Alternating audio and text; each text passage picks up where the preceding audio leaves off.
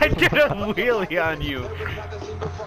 Just, Did you see? I, I hit one person and it put the front end of my car in the air. And then it like landed on you. where'd you go?